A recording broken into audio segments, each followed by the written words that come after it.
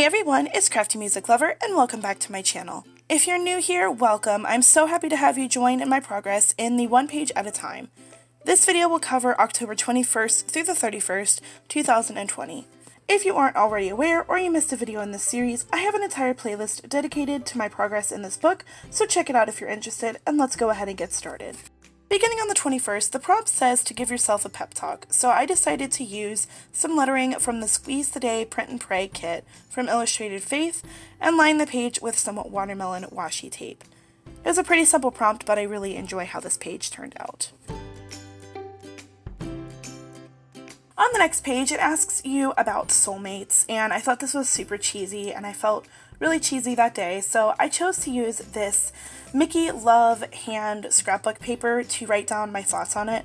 Underneath it, I used a sheet from an old post-it note pad and then decorated the top and bottom of the page with washi tape that I thought coordinated well with the theme. On the opposite side, I decorated the background of the page in some old post-it notes and then answered the prompt using a pink mini list pad. This prompt was yet again really simple and really easy to do, but I thought it was super cute and it turned out really nice.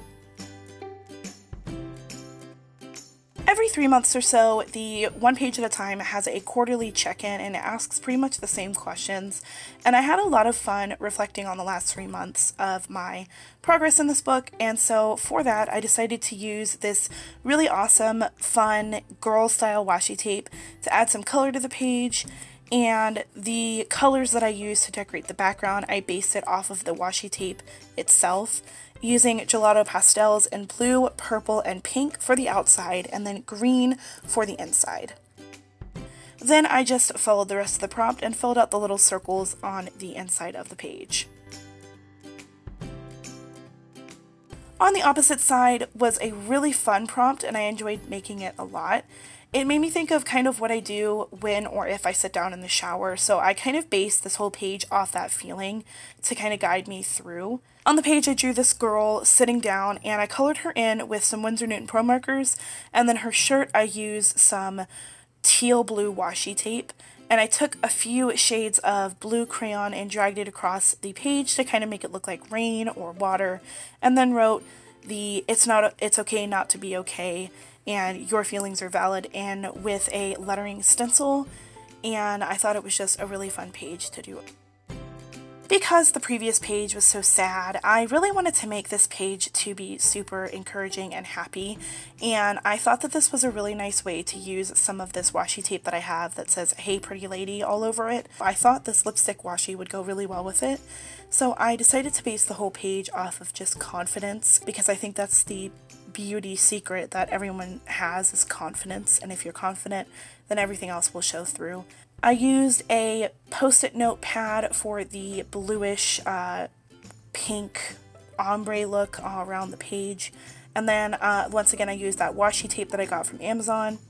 I also did some gold lettering stickers across the page that said confidence and then uh, in an old magazine, I had this girl who looked pretty like chill and happy, so I cut her out and put her on the page to kind of represent the whole theme.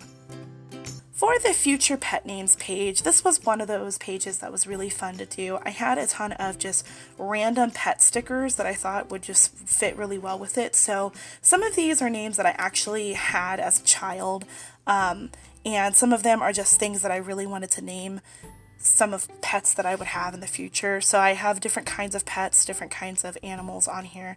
And then I used some washi tape, the same set that I got from Amazon. I use that for the top and bottom of the page. For the different stickers all over the page, they are randomly from different places. Some are from Dollar Tree, some are from uh, Michael's, and some are from Hobby Lobby.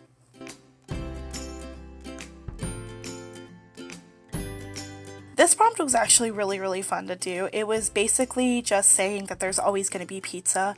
So I went through all of my loose scrapbook pages and I found this kind of napkin themed scrapbook paper and I thought it would be really cute to use as a background for the page. So I cut it down to size and glued it on.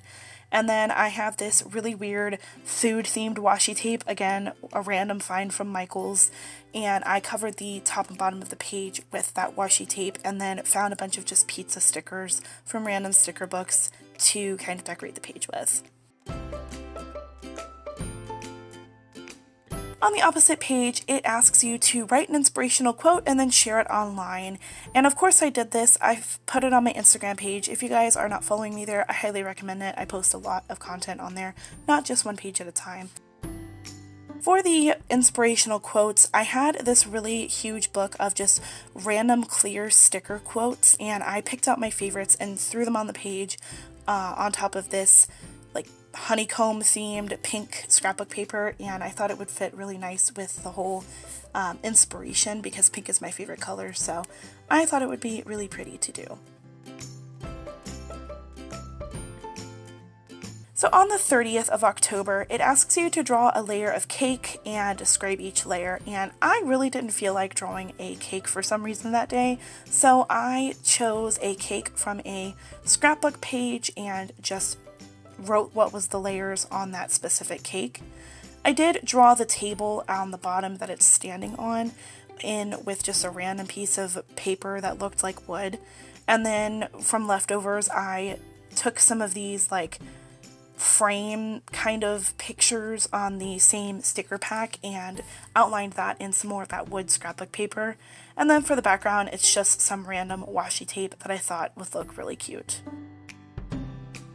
On the opposite page, I don't remember what the old prompt was. I think it was one of those like uh, give this page away or something, and I didn't feel like doing that. So I covered it in this um, Halloween uh, paper, and I actually got this from my dog's bark box, and he loves those so much, and so each box is a theme for each month. So October was Halloween theme, so I thought it would be a really cute way to incorporate Halloween into my book. So, like I said, I just took a piece of that box and cut it down to size and put it on the page. And then to make it a Halloween themed page, I wrote Happy Halloween in with a Posca paint pen in orange. Thank you guys so much for watching the third part in October 2020 and my one page at a time. I really hope you guys enjoyed it. If you did, hit the thumbs up. It really helps me out a lot and it lets me know what you guys like and what you don't like. Don't forget to subscribe to keep up with me on this series and all of the other videos I post.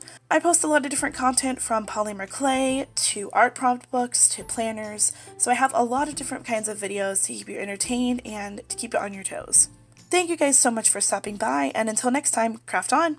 Bye guys!